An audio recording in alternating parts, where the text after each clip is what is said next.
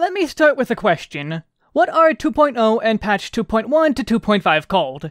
Most everyone knows it as A Realm Reborn and Post A Realm Reborn, because 2.0 is all A Realm Reborn, and everything after is not A Realm Reborn. Before I answer, let me ask you to like, subscribe, comment, all that good stuff to support me if you like this video. My focus is on guiding players, but this thing sticks out to me, and I may do one or two other of these. Anyway, you're wrong. On both accounts, 2.0 is not a Realm Reborn, never has been. 2.0 is the 7th Umbral Era. 2.1 to 2.5 is called the 7th Astral Era. This can be proven with a quick look to the journal, because both of these are a Realm Reborn. Two halves of a Realm Reborn with their own arc names. I don't know about the rest of you, but I find the term post expansion kind of bland at best, describing the time between the 0.5 patch cycle and the next expansion at most. That is post expansion, when no new content will arrive. If you've been on top of things, you are now out of new content to play. It also just doesn't make any sense to me mentally, which is definitely just a me problem. But really, it doesn't make sense. What expansion did you buy to get 3.0, 3.1, 3.2, 3.3, 3.4, and 3.5? Heavensward? But only one of those things is Heavensward. The other five are not Heavensward, they're post Heavensward, despite being only accessible with Heavensward. Back to how bland it is, though. Post A Realm Reborn sounds so boring and so corporate. We're adventurers, saving the world from super big issues and all that. But eh, it's post the main adventure. It's all boring and nothingness, despite the fact that the biggest changes in the world all happen in the post-expansion story. Which is the point I now say, hey, the rest of this video is going to have major spoilers, like ultra omega spoilers, because I want to detail how bland that is but I'll stay within an expansion spoilers, so I won't talk about Endwalker spoilers during A Realm Reborn or such. And I'll go in order. You've been warned. So, 2.0 we make a huge change, beating back Gaius and his Ultima weapon. We make no other major pushes forward, but it's a very significant one for the Scions. In terms of story and lore, it's an introduction to the world. A lot happens, but not a lot to overly mention here. I really just gotta say this is the base lore part of the game.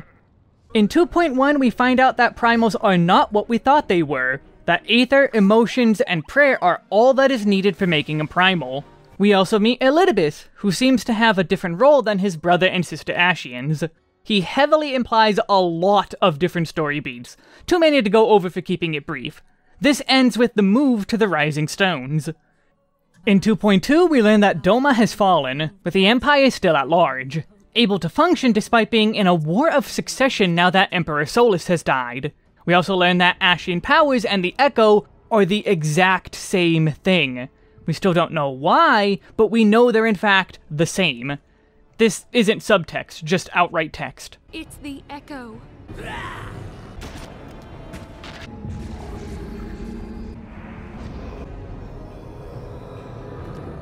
We get a lot of details about the growing hostilities within Ul'dah that will make for the main event at the end of 2.5, all to move the Domans to Mor Dhona. 2.3 has some of those Ul'dah tensions spill over, becoming the final catalyst for Alphinaud to create the Crystal Braves. We even have a name for who is causing such tensions, Teleji Adeleji. This is also the patch where we get to spar with Hoary Boulder. That's the most important part of the entire game after all. Anyway, this is also where we begin to move into the Heavensward hooks, fighting heretics and helping Haurchefant with his troubles.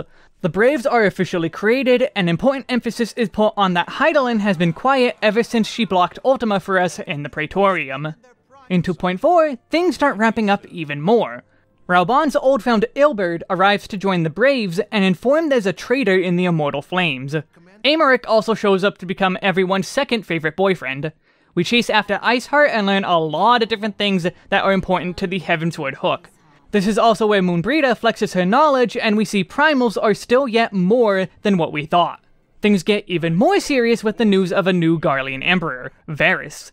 This is our cue to find the traitor in the Flames, who turns out to be a high-ranking member of the Flames, a shocking reminder of how much of a threat the Empire very much still is, Gaius was nothing in the grand scheme of things. Worse lies over the horizon. 2.5 has too much to not just list off. A way to kill the Ascians, a giant blast of aether, one that kills Moenbryda when Nabriales attacks. Midgardsormr removes our Blessing of Light and just chills with us now. Skirmishes against the Empire and the Ul'dah plot. Attacks on Ishgard as the Dragonsong War heads to its climax. The Crystal Braves turn traitor, led by Ilberd, and the Scions are wanted as Nanamos killers. Everyone disappears, leaving you, Alphinaud, and Tataru to fend for yourselves. Even the detractors of A Realm Reborn near unanimously praise this patch in specific. But hey, it's just post A Realm Reborn. The main thing has been done and gone for a while. Not only is it boring and bland, it just downplays the importance of everything. This is the 7th Astral Era, an era of growth and prosperity. Yet the irony is that everything has gone wrong. We learned many things, but ultimately things have fallen apart in near every way. From here, I'll be shorter on my patch description since I feel I made my point with post A Realm Reborn, and how very little happened and was unimportant. The Echo being Ascian powers? Worthless info, right? That's when we make our escape to Ishgard for the Heavensward story quest. What do you think these are called? Well, 3.0 is indeed called the Heavensward Quests, and that fits beyond the expansion name. 3.0 is all about the Heavensward and defeating them. 3.1 and beyond all being lumped in as post Heavensward further ruins the point. We beat the Heavensward! And the dragons are still an issue, and the war is still going on, and now Ishgard is going through a mini civil war, and. Yeah, we made things worse beyond ridding ourselves of one of the villains. The story beats of main Eorzea advance and change, even improve, but the events in Coerthas? Everything has kinda gotten worse, objectively. Iceheart may have become an ally, but her heretics still are making trouble for a bit longer, while Ishgard's Pope is now dead. No, it's not post Heaven's Heavensward. The Heavensward are gone, but we still gaze towards the heavens. It's actually segmented twice. We have 3.1 to 3.3 as its own mini arc of Heavensward called Dragonsong. That's so much more unique, descriptive, and cool. This is the crescendo of the Dragonsong War, culminating in the defeat of Nidhogg. It's only after this moment that the other main villain of the expansion is truly defeated. For as awful Thordan is and was, he was far less of a threat unless the Dragon Song Reprise Ultimate Raid is to be believed. That fanfiction aside, calling the Dragon Song arc just post Heavensward sells it far too short. So then we move on to patches 3.4 and 3.5. The lead up to Stormblood, that is the most apocalyptic situation we've been in all game. What is it called? Post Dragon Song. Oh. I don't know if this was an internal decision or based on how the fanbase started calling stuff post whatever, but this is still boring and near entirely unrelated to Ishgard. Sure, there's the one short part where Ishgard further pledges itself to Eorzea as a whole, but we're moving away from Ishgard intentionally. Post Dragonsong is mostly a state of being for the Ishgardians. That's when it would make sense. Nidhogg's eyes being used as a tool is not enough for me. Instead, I would go for something more interesting. How about The Griffin's Song, or The Griffin's Reprise? A name that hints at the events without spoiling things. We're near immediately told about and shown the Griffin will be an antagonistic force. The events of these patches are his, and turns out to be Ilberd's, doing. He pushes the Alliance to attack Baelsar's wall, he uses Nidhogg's eyes to summon Shinryu, and he starts the new war for Eorzea's freedom. That's what makes Griffin's Reprise such a good title to me. Shinryu is a dragon of Nidhogg's eyes, a reprise of the Dragonsong War. Dragonsong War. A second war is starting immediately after we finish the last one. How much more interesting a name is that to post Dragonsong? Then Stormblood. This one is sadly split into Stormblood and post Stormblood. No third act like Heavensward, which I believe they should have done, because 4.1 to 4.3 could have been Moonlight Requiem. Again, allusions to the finale of the patch while having so many meanings and ironies while still relating to the aftershocks of this being caused by Nidhogg's eyes. Though 4.4 and 4.5 are less of a major departure from Stormblood as a whole, we're moving to act in defense of Ala Mhigo and Doma now that they are liberated. Now that a war against Garlemald is truly about to begin. There are major hints well, there's text that indicates that this war is going to lead to the 8th Umbral Calamity, as your allies begin to collapse one by one for unknown reasons. Patch 4.5 is a Requiem for Heroes, which would greatly fit for this set of patches, but would make my Moonlight Requiem suggestion redundant. My point isn't that my specific ideas are good, just that things like this are far more interesting than calling everything post. I just have a bias to like my own titles, and I do find some of it fun. Sadly, instead, it seems that all attempts at naming the arcs was given up at this point. Now everything is just post. It all comes to a head with Shadowbringers because get ready! The greatest names ever are here because we have Shadowbringers, post Shadowbringers, and post Shadowbringers 2. Yes, actually. Three arcs, but we have post and Post 2. What? Why? How? Why not call 5.1 to 5.3 Light Warden? The irony of us becoming the final Light Warden in the Shadowbringers story while still alluding to events.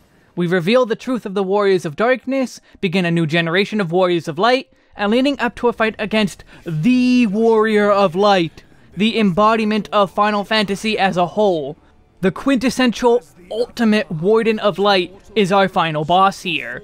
Something, anything would be better here, especially for Post 2. Like, we don't even go back to the first during these patches if I am not wrong. Boringly named and just near completely unrelated. We're always carrying on the lessons and rules we learned from the main expansion. But this is the Endwalker intro.